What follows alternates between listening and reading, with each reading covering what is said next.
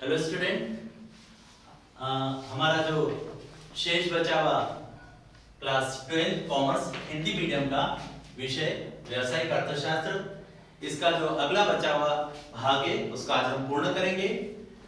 आज के हमारे अध्ययन के केंद्र बिंदु है पॉइंट नंबर सिक्स क्योंकि पॉइंट नंबर फिफ्थ तक, पाँच तक हम अगले वीडियो में देख चुके हैं।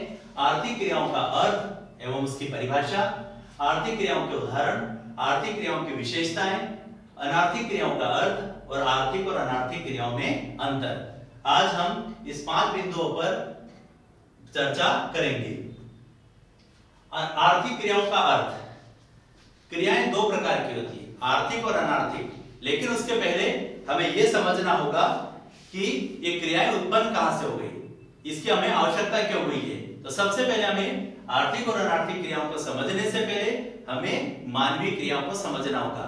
तो मानवीय क्रिया के बारे में कहा गया है कि मनुष्य अपना जीवन सुख, शांति और आराम से व्यतीत करना चाहता है। प्रत्येक मनुष्य ये चाहता है कि वो जीवन में सुखी रहे, शांति से अपना जीवन व्यतीत करे, किसी भी प्रकार की कोई परेशानी न हो। इसके लिए मनुष्य विभिन्न, इसके लिए मनुष्य को विभिन्न प्रकार के प्रयत्न करने पड़ते हैं। प्रयत्न करने पड़ते हैं मतलब कुछ कार्य करना होता है, जिन्हें हम मानवीय क्रियाएँ करते हैं। और इन्हीं प्रयत्नों को या इन्हीं मानवीय क्रियाओं को हम दो भागों में बांट सकते हैं। क्योंकि व्यक्ति क्या करना चाहता है? अपने जीवन में सुख शांति और आराम से रहना चाहता है। और इसके लिए उसे आ, कुछ प्रयत्न करने पड़ते हैं। और इस इसी प्रयत्न को हम मानवीय क्रियाएँ करते हैं। और ये मानवीय क्रिया जो होती है वो दो भागों में बांटी गई है। जिसमें से जो पहली क्रिया आती है उसे हम आर्थिक क्रियाएँ कहते हैं। और जो दूसरी क्रिया आती है उसे हम अनार्थिक क्रिया या फिर गैर आर्थिक क्रिया भी कहते हैं। तो सबसे पहले हम यहाँ पर ये पढ़ेंगे कि आर्थिक क्रियाएँ होती क्या है।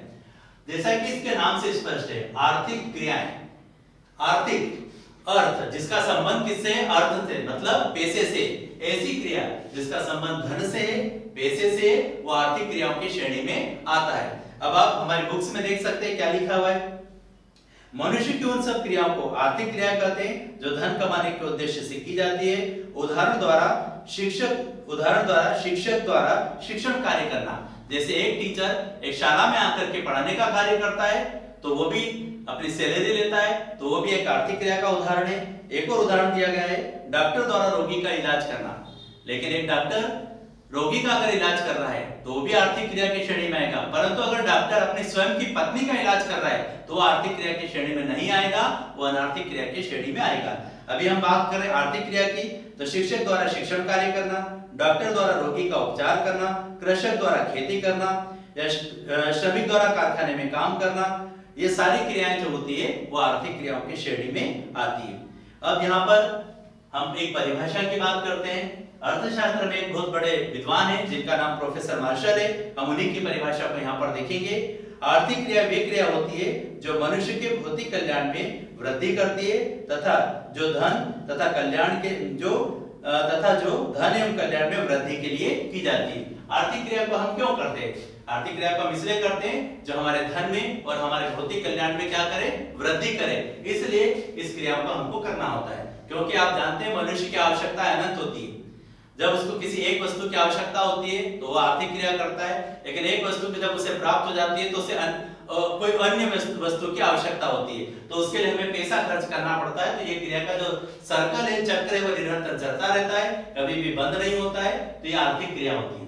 जैसे अभी हमने बात किया कि क्रियाएँ दो प्रकार की होती है, एक आर्थिक क्रिया और एक अनार्थिक क्रिया। तो ये आर्थिक क्रिया हो गई। अब आर्थिक क्रिया के उदाहरण भी हमने डिस्कस कर लिए कि एक कृषक द्वारा खेती का कार्य करना, एक टीचर्स द्वारा अध्यापन कार्य करना, ये सब किसकी श्रेणी में आएगा? आर्थिक क्रियाओं की श्रेणी में आएगा।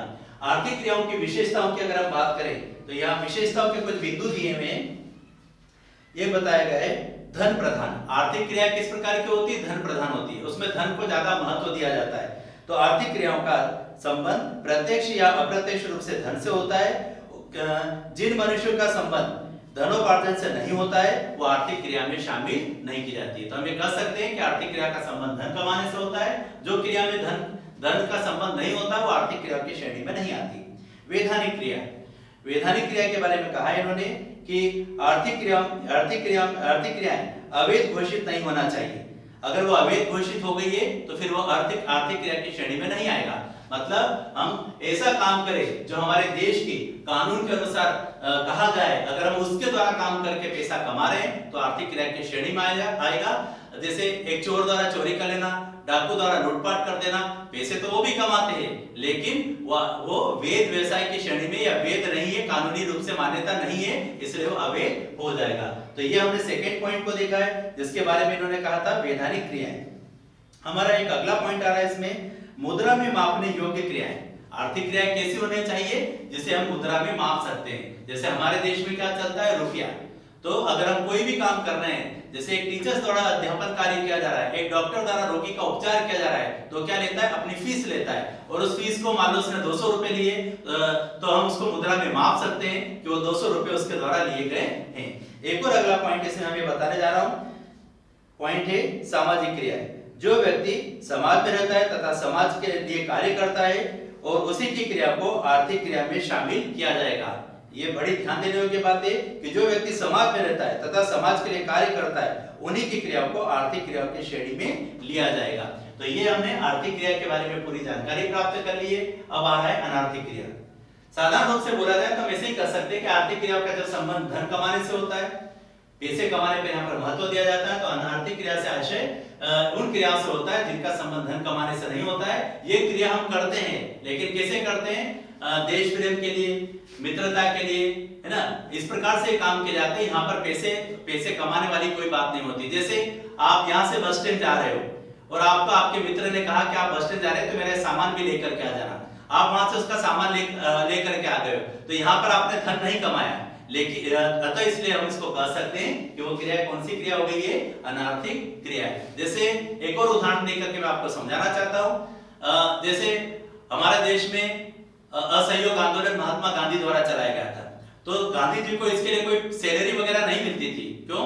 आ, उनको सैलरी नहीं मिलती थी लेकिन फिर भी वो देश के प्रति अपनी श्रद्धा रखते थे देश प्रेम की भावना उनके अंदर थी इसलिए उन्होंने उस कार्य को कराए और वो एक अनार्थिक क्रिया की श्रेणी में आता है। तो हम अनार्थिक क्रिया के अगर अर्थ की बात करें तो हम यहाँ पर कह सकते हैं कि मनुष्य की उन सब क्रियाओं को जिनका उद्देश्य धन कमाने से नहीं होता है और आर्थिक क्रिया कहते हैं जिनका उद्देश्य धन कमाने से नहीं होता है, और ये क्रियाएँ प्रेम, स्नेह, मित्रता आदि के वशीभूत होकर के की जाती है। मान लो अगर हम ध्यान लगा कर, ध्यान लगा रहे या योग कर रहे तो इसमें हम पैसा नहीं कमा रहे, ये कौन सी क्रिया कहलाएगी? ये अनार्थिक क्रिया कहलाएगी। मान लीजिए हम कुछ खेल खेल रहे हैं, बैडमिंटन खेल रहे हैं, टेबल टेनिस खेल रहे हैं तो ये भी आर्थिक क्रिया की श्रेणी में नहीं आएगा, वो हम अपने स्वास्थ्य के लिए खेल रहे हैं, वो भी अनार्थिक क्रिया की श्रेणी में आएगा। एक और एक माता द्वारा शिशु का पालन करना। एक माँ अपने बच्चे का, अपने स्वयं के बच्चे का पालन कर रही है तो वहाँ पर वो पैसा नहीं कमा रही तो वो भी अनार्थिक क्रिया की श्रेणी में आएगा। लेकिन अगर हम इसके विपरीत सोचे कि एक महिला द्वारा किसी और के बच्चों का पालन किया जा रहा है तो उसको उसके पीछे कुछ पैसा मिल रहा है तो अर्थात आर्थिक क्रिया की श्रेणी में आएगा। अब हमारा एक लास्ट पॉइंट है, आर्थिक और अनार्थिक क्रियाओं में अंतर। हम इसकी बात करेंगे। तो इसमें पहला पॉइंट आ रहा है, उद्देश्य का। जो जो आर्थिक क्रिया होती है, वो धन कमाने के उद्देश्य से की जाती है और अनार्थिक क्रिया जो होती है, वो मित्रता प्रेम स्नेह आदि के वशीभूत होकर के की जाती है और इसमें इसका उद्देश्य धन कमाना नहीं होता है। सेकेंड अगर हम पॉइंट की बात करें पूर्ति, आर्थिक क्रियाओं से मनुष्य की आवश्यकताओं की पूर्ति होती है और अनार्थिक क्रिया से मनुष्य की इच्छाओं की पूर्ति होती है, उसकी भावनाओं की पूर्ति होती है। मनुष्य की इच्छा होती है कि उसे ये काम करना है। मेरे समाज के लिए काम करना है, मेरे देश के लिए काम करना है तो इससे उसकी इच्छा और भावनाओं की पूर्ति होती है। एक, तीसरा पॉइंट रहा मापदंड। आर्थिक क्रिया को मुद्रा में माप सकते हैं, लेकिन अनार्थिक क्रिया को मुद्रा में मापा नहीं जा सकता है। प्रेरणा स्रोत। पॉइंट नंबर फोर्थ की बात करें, प्रेरणा स्रोत। ये क्रियाएँ आवश्यकताओं से प्रेरित होती है, और अनार्थिक क्रिया जो होती है, वो इच्छाओं से प्रेरित होती है यह हम कह सकते हैं। और एक लास्ट पॉइंट की अगर हम बात करें तो क्षेत्र की बात करें तो आर्थिक क्रियाओं का जो क्षेत्र होता है, वो सीमित, क्योंकि हम पूरा काम जो कर रहे हैं, किस लिए कर रहे हैं? धन कमाने के उद्देश्य से। लेकिन अनार्थिक क्रिया का जो क्षेत्र होता, वो बहुत ही व्यापक होता है, बड़ा होता है, क्योंकि उसमें बहुत सारी चीज़ें, न सिर्फ़ हमारे लिए, हम अन्यों के लिए भी काम करते हैं तो उसका क्षेत्र बड़ा ही व्यापक होता है। तो आज के इस वीडियो में हमने ये चार पाँच बातों को देखी, आर्थिक क्रियाओं का अर्थ और परिभाषा। आर्थिक क्रियाओं के उदाहरण, आर्थिक क्रियाओं की विशेषताएँ और अनार्थिक क्रियाओं का अर्थ और आर्थिक और अनार्थिक क्रियाओं में अंतर। ये वीडियो हमारे यहीं पर समाप्त होता है। तो इसका अध्ययन आपने अच्छे से करना